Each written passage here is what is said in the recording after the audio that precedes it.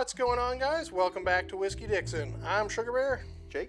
We're reviewing Gouden Carolus Belgian single malt whiskey. Maybe. I don't know. I don't know I how don't know if it. that's how you pronounce it, but uh, Belgian single malt whiskey. Yeah. I didn't know it was a thing. Nope.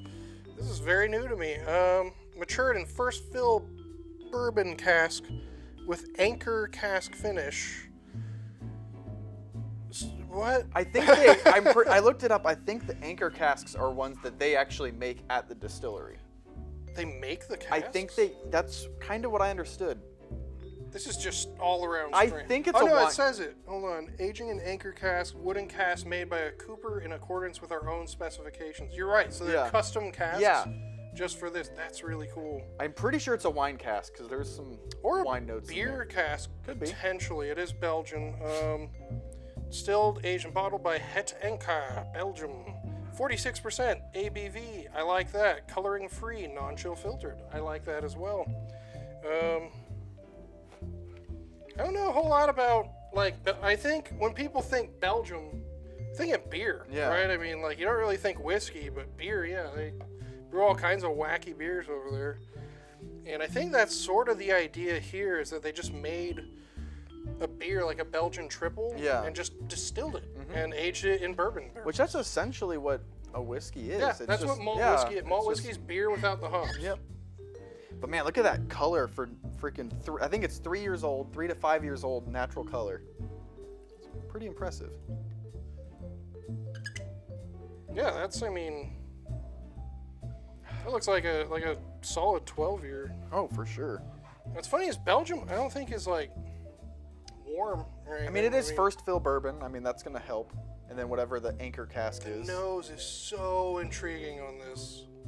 It smells it's so like a beer. it's so weirdly between like bourbon cask single malt Mm-hmm. and all those weird Belgian yeast ester notes like bubblegum, Mm-hmm. Citrus. citrus, banana, clove. Like a Oh, lot of yeah, clove. there is clove. Yeah. What the fuck is going on here? Never smelled a whiskey like this Nope. in my life. But what's funny is it smells like exactly what you'd think it Yeah. would smell like. It smells like distilled Belgian beer. Mm-hmm. Like it totally. Ah, that's wacky.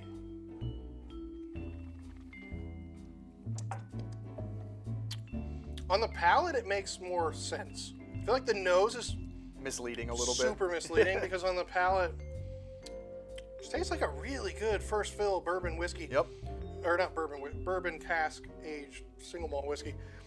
Um, There's a heavy orange note in there. there is no like orange, clove, um, coriander, Makes me think of a blue moon. a lot of weird spices, like a lot of weird. It's so Belgian, ta- like it's so. If you've had Belgian beers, this will taste pretty familiar to you. Actually, um, it's pretty malty as well. Yeah, the finish you still get all those weird yeast notes, all the all the esters they call them. Um, it's almost like chewy. Yeah, I could get that. Yeah. The nose is the craziest part to me. Every time I nose I'm like, what? Buttered popcorn on the nose, not so Yeah, much no, yeah, that's what it is. Like that synthetic movie Yeah, butter. like a bag of like Jiffy Pop or whatever. You know, Act Two.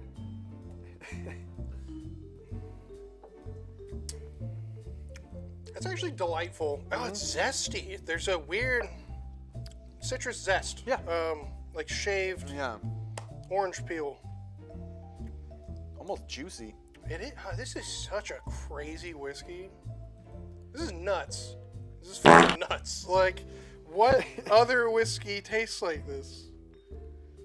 Do they make other whiskey? Yeah, they got. Are a- there other Belgian distilleries? Well, th this one specifically, they know they have a sherry. they won a they ton have- of awards. On the back, you can see they won a lot of awards for this.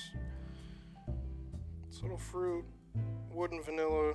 There's way more. Their their flavor note is are so They're lowballing. They told you like yeah. three things. There's so much more going on in this. This is a very complex, really unique whiskey.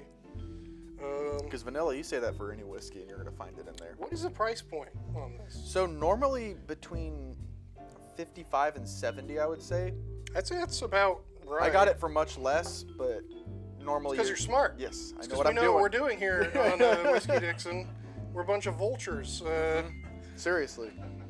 But uh, no, I would say like 50 or 60. I would buy this. Yeah. Yeah. It's hard to find. It's that good. It's really hard to find. So I know. I've only heard of it. I've heard Yeah. of this. I've never. Even Total Wine doesn't have it. Really Yeah. weird. So I mean, if you can Total Wine doesn't have it. Where are you gonna get it? it, Belgium, Bel- yeah. Raley's. Belgium or Rayleigh. uh, yeah. No, this is great. Like, I'm actually shocked by how good this is. And really, for me, more than anything, it's how unique it is. Like, it's there's nothing I can quite compare this to. Wow, that is uh, what what. It really is just distilled triple. Like, it really is a distilled Belgian strong ale. I really want to know what those anchor casks are, because they really you shouldn't get this much beer influence out of it. If I mean, it's just malted barley, like you can else. if they're using some weird yeast. Like what's interesting in Scotland, they pretty much all use the same yeasts. Mm-hmm. In America, you can find like ten different yeast strains at one distillery that they will make with the same mash bill, and then they'll blend them to certain. Yeah. Like Four Roses is crazy about yeast. Like they're Mm-hmm. all about using all kinds of different yeast strains, just for like one or two mash bills. Um, this is a good example, though, of how like Belgian yeast varies so much from like monastery to monastery where they're making their beer, Yeah. their abbey beers. Um, you know, one one monastery will have one strain of yeast that's unique to it, and they'll when they age their beers, they don't add yeast to them. They'll just leave them in the cellar where that yeast is floating Yeah. around, and it will spontaneously ferment just just from the air. That's And, crazy. uh, yeah, no, that's why. That's why, like, in Belgium, they're making all their beers essentially the same way with the same ingredients, but since they all have their own unique yeast strains at all the breweries, they all taste completely different. They all have all those weird, funky notes. It's the same thing we do with hops here in California. They do with yeast. In Belgium, they're they're all about the yeast, um, which I'm not. But it's cool. Like this is cool. Um, this is really exciting. I would like to find some of their other stuff they got going on. It's even like waxy on the finish, like a like Yeah. a scented candle. Like if you were like had it in your mouth, though, if that makes sense. Nice glass full of candle wax. Like instead of oily, it's like waxy. Yeah. Do you get that? Really unique whiskey. a little dry too. Yeah, very dry initially, and then it becomes waxy once it's kind of gone.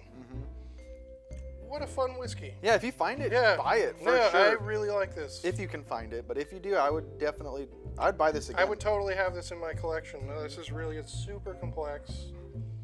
And then did we did it say an age? It's only like I looked it up online. It's between three and five years. I think. that is crazy. Yeah. Yeah, it actually says on the back it's distilled from the mash of their Gouden Carolus' triple beer. Yeah. So it is it is a distilled Belgian triple. That's fun. Mm-hmm. Yeah. I like this a lot. Something different. Um, yeah, no, it's cool to see other countries producing like whiskey that tastes like it came from that country. You know, when you think Belgium, you think of these weird beers they Yeah. make, and so this is the distilled version of that. That's really cool.